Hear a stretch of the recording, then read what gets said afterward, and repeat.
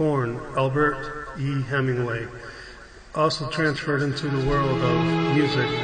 This is me when I'm just two and a half years old at the park with my mom. As you can see, I was always kind of like left alone and at that point, I used to pretend that I wanted to be kidnapped. I fantasized about it.